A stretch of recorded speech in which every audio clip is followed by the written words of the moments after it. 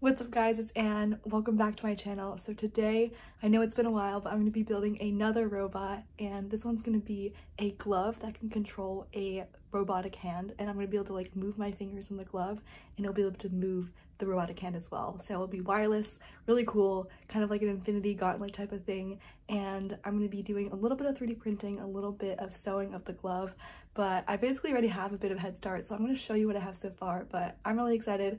Let's just get straight into the video.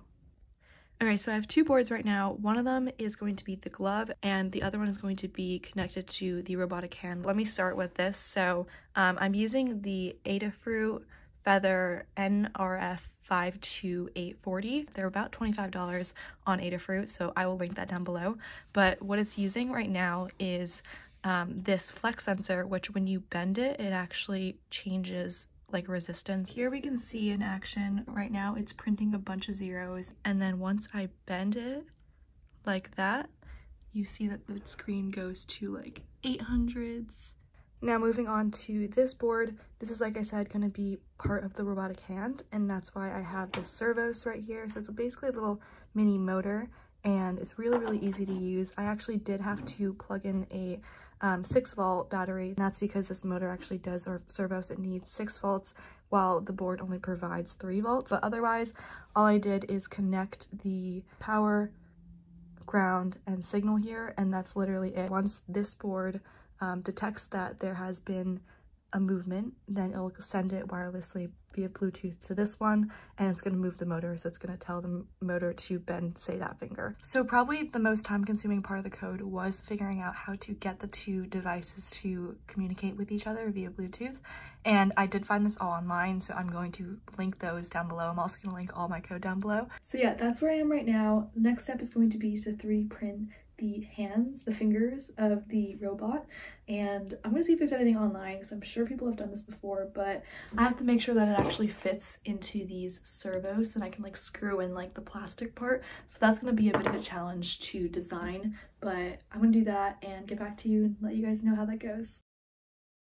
I can't get this hand to hollow out in the middle. So I spent about a week trying every single possible method to shell this hand and every time it just says like gives me an error and just says that like it's not possible so I think this is just a little bit too complex.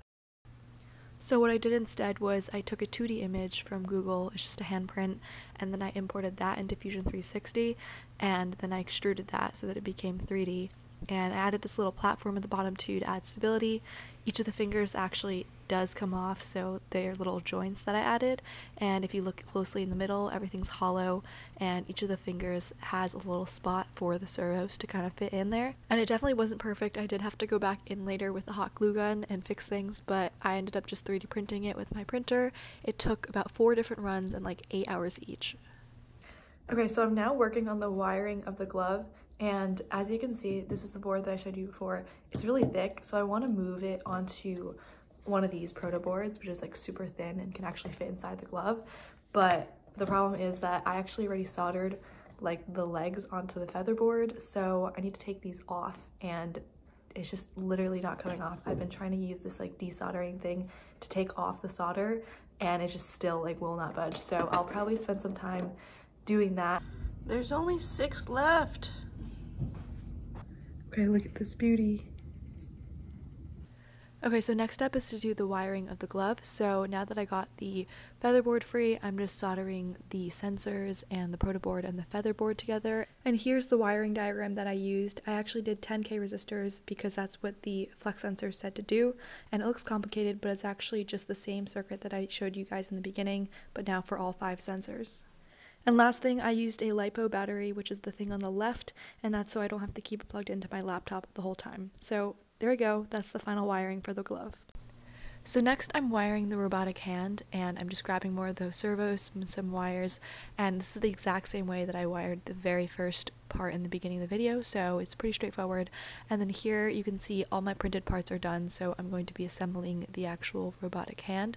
So I'm grabbing the two halves of the palm and putting those two together, and then I'm taking each of the fingers, and those are going to go on top like that. And the way it's going to work is I'm going to hot glue each of the servos down to the palm, as you can see here, and then I'm going to hot glue the spinny part to the finger so that it'll be able to spin and move freely. So next time you see the robotic hand, it'll be completely finished. Okay, so now for sewing the glove, I have two pieces of black fabric. One is more of an athletic material and one is just like a cotton t-shirt. So that's gonna be for the different types of layers on the glove. This is the back of the hand, so it's like that. This is gonna be like a flap with Velcro on here and here. And then inside is gonna be the electronics, one for each finger. And then the third layer is just gonna be a regular hand. And this is gonna be made out of the t-shirt material.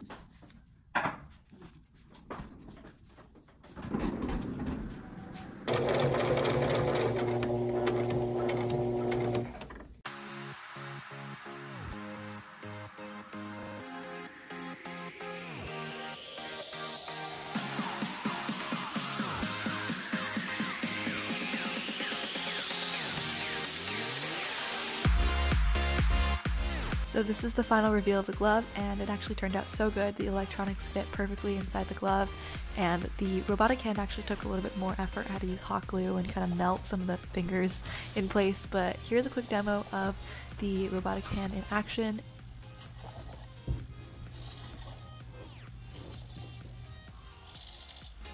It's also completely wireless, which I thought was so cool because of the LiPo batteries and also the Bluetooth. And another small detail that I added was this hole in the side of the hand so I could charge it. I thought that this was a really fun project, and if you think so too, you can definitely check out the files in the description box.